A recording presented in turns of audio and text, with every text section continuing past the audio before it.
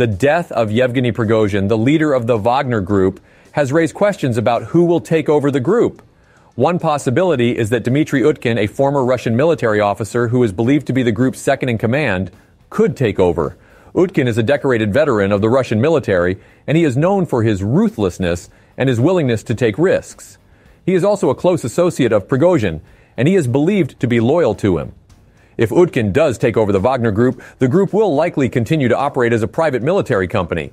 However, it is also possible that the group could become more closely aligned with the Russian government. The Wagner Group is a powerful and well trained group of fighters, and its activities have been a source of concern for the international community. If Utkin does take over, the group will likely continue to be a major player in the global security landscape. What do you think?